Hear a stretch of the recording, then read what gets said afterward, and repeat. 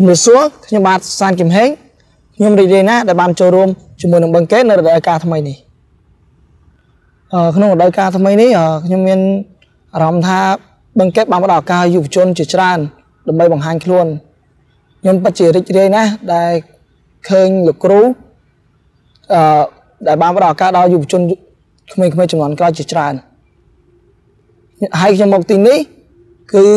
ដើម្បីអភិវឌ្ឍខ្លួននៅរដូវកាលថ្មីខាងមុខនេះការមកទីនេះអឺគឺវាជាការប្រកួតប្រកួតប្រជែងខ្លាំងពីព្រោះយើងធ្លាប់ហាត់មួយគ្នាតាំងពីក្មេងយើងធ្លាប់ប្រកួតប្រជែងជាមួយគ្នាតាំងពីតូចហើយខ្ញុំសង្ឃឹមថាមិនថាទៅកន្លែងណាក៏ដោយយើងសង្ឃឹមថាខ្លួនឯងនឹងប្រោះអស់សមត្ថភាពដើម្បីប្រជែងយកកៅអី11នេះនៅរដូវកាលក្រោយអឺអារម្មណ៍របស់ខ្ញុំមានអារម្មណ៍ថា ធម្មតាសម្រាប់បាល់ទាត់ព្រោះយើងនៅក្លឹបណាគឺយើងតែងតែខំប្រឹងដើម្បីឲ្យក្លឹបនឹងឈ្នះហើយហើយខ្ញុំមានអារម្មណ៍ថាពេលដែលខ្ញុំមកបង្កេតខ្ញុំនឹងខំប្រឹងអស់ពីសមត្ថភាពរកគ្រាប់បាល់ជូនក្លឹបបង្កេតអឺខ្ញុំសង្ឃឹមថា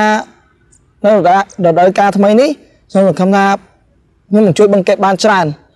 ហើយនឹងជួយបង្កេតឲ្យបានលើកពានអ្វីមួយនៅក្នុងពានពីរនៃពានសម្ដេចនិងពាន Marathon Premier League